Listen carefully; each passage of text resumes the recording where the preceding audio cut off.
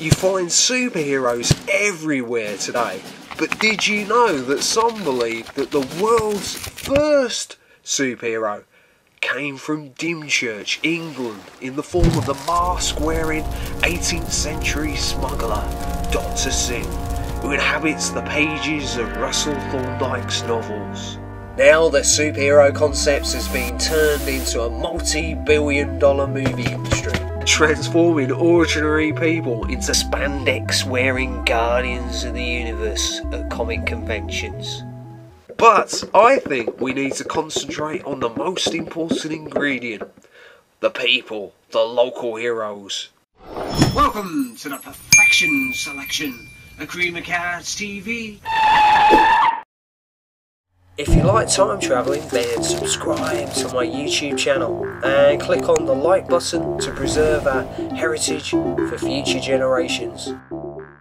So let's go back in time and space to meet the author who coined the term time machine, H.G. Wells.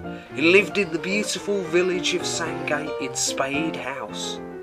In the neighbouring town of Hythe, he chose this lovely building for the inspiration for the bookshop in his Mr. Kipps novel.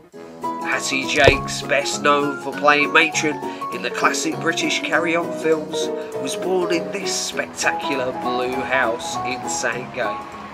Noel Redding played a crucial role in the Jimi Hendrix experience as the bass player. Did you know a young Noel made his first public appearance at the Hythe Youth Club, which was apparently located around where this block of flats is?